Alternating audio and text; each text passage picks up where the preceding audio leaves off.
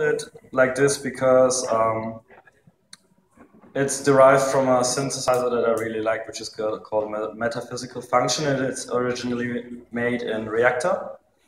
And I, um, yeah, yesterday I came across also uh, over over the to the around the uh, the Axoloti board, and uh, I, I, was really fascinated by it, and I really wanted to try it out.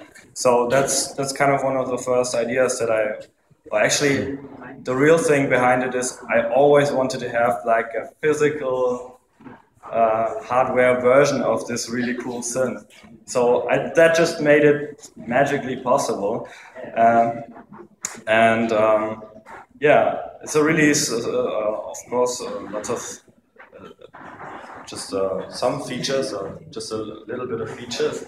The, the original one has a lot more, of course, but I'm pretty happy that I have a functioning kind of thing after 24 hours, which I can present to you. And um, yeah. Thank you, Karl. Take it away, dude.